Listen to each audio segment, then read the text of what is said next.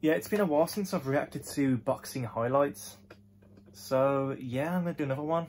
This one is going to be Timothy Bradley versus Ruslan Provodnikov. Not 100% sure if I pronounced that right. This won Fight of the Year by Ring Magazine. And uh, I remember it being a really great fight. And uh, I really respect Tim Bradley. I actually think he deserves to be in the Hall of Fame. Uh, I think a lot of people hold his controversial win over Manny Pacquiao against him. It's not his fault. He didn't score the fight. But apart from that, though, you know, he was a he was a great champion. He was tough as hell. So this is it. You know. Bradley tries, I think, to be a boxer puncher, but just isn't a big puncher. Um, what he does hit That was true. to keep guys on Didn't have a big knockout ratio, did he? And he's a pit bull. You know, he once he's locks on, try to shake him loose.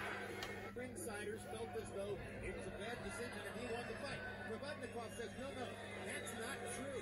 Don't take credit away from Pereira. He outsmarted him. Big right hand. Big right hand by Provodnikov. Oh, Provodnikov was a beast.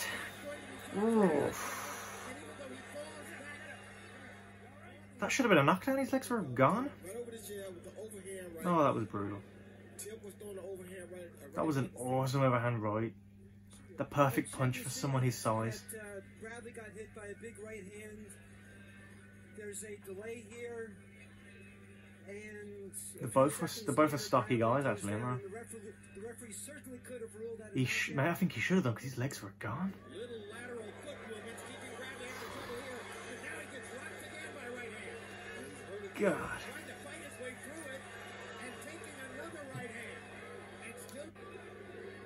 And how good were the old HBO commentators though? You know, Jim Lampley, Jim Lampley, and you know, what's his face?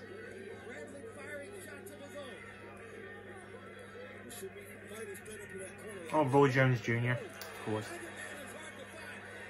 Great commentary teams. They, they kind of put some of our UK ones to shame. You know, with the with the enthusiasm that they show.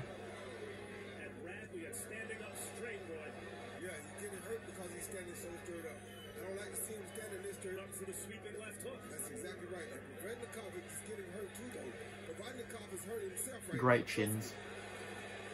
These Uh, I believe both of those guys were never stopped during their career. Or dropped, but you, you could drop them, but you couldn't, like, you know, take them and finish them.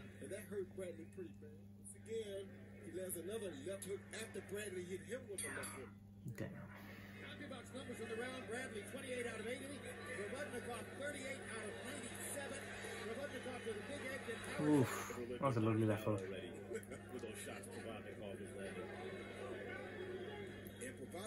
Oh, lovely combinations. Yeah, Bradley had underrated skills. You know, he wasn't just a pressure fighter, you know, he could box. Oh, lovely hand speed.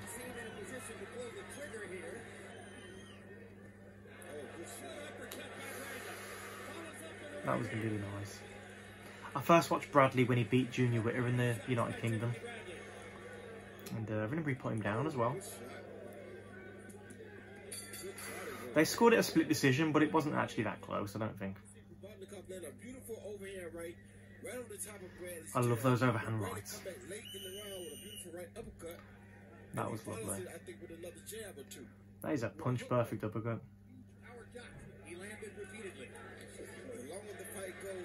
I love those triple jabs.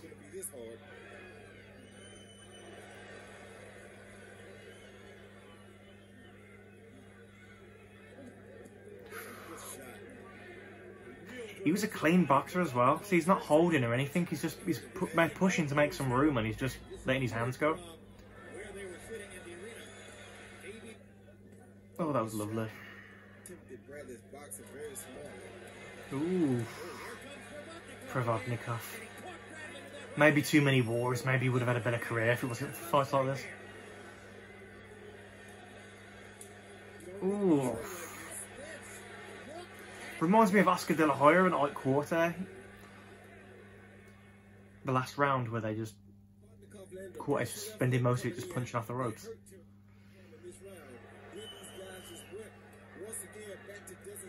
He's hurt, but he's just punching still.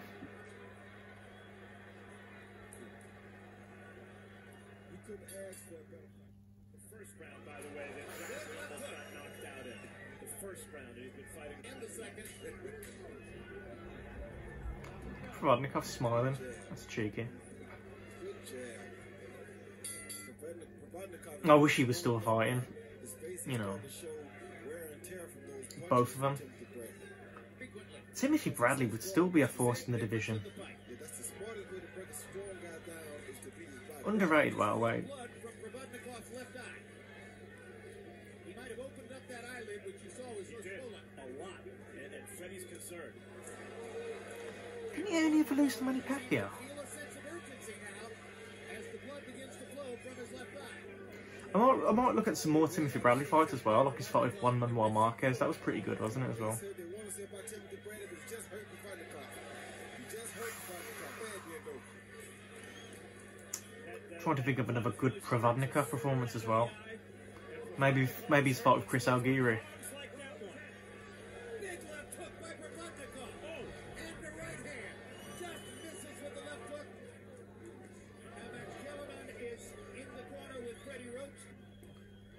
This guy once in a while and, and hurting him, but Yeah, the thing is, he just Freddie Roach, really good shot. Stand up for this. one of the all-time great trainers.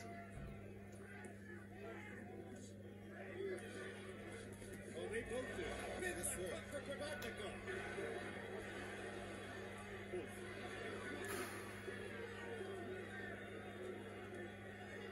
This is where Bradley gets in trouble when he starts training like this.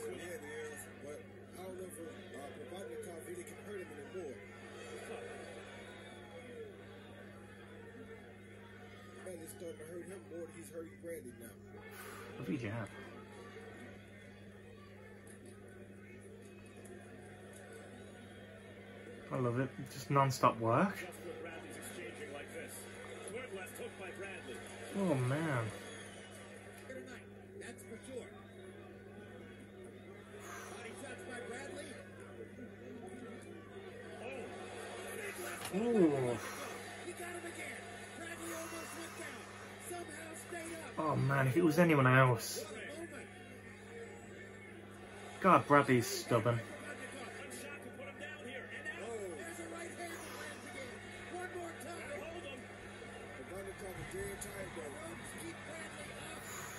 Oh, he's shot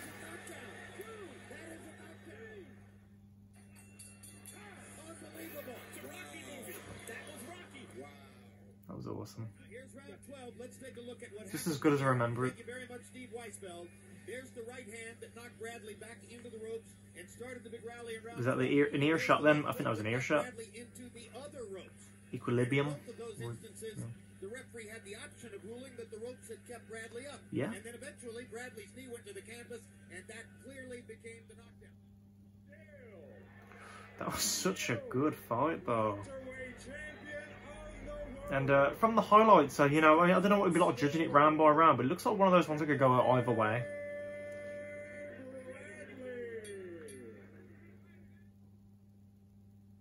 Yep. You know what? I might quickly look at some punch stats for that fight. So, from after the whole fight, wow. Bradley land did actually land and throw a lot more punches. Total punches, Bradley landed 347 out of exactly 1,000 punches. He threw a thousand punches in that fight. And uh, Provodnikov threw uh, 676, which is you know a lot to his credit as well. 218 shots, and uh, but some of his shots were a lot more impactful. Uh, uh, so there you go. I actually spoke a bit more then, but my uh, camera turned off. Uh, yeah, so that was a great fight. That you can see why it won Ring Magazine Fight of the Year. That, was amazing, and uh, I really respect both fighters as well. Like I said, Tim Bradley, I think he'll be a shoe-in for the Hall of Fame in the future. You know, he was a WBC, WBO lightweight champion, WBO welterweight champion. He beat guys like Juan Manuel Marquez and Devon Alexander, Kendall Holt, and you know a lot of others too. And uh, you know what, Provodnikov, man, I wish he would have done more. I wish he would. I, th- I think he kind of lost a lot of longevity during that war with Bradley. I think it seems, or maybe I overestimate him. But you know, he was a God. He must have been a fan favorite. You know, he, God, that fight was awesome. And uh, I'll have to check out some more of his fights and Bradley's too. Uh, thank you so much for watching. I hope you liked it.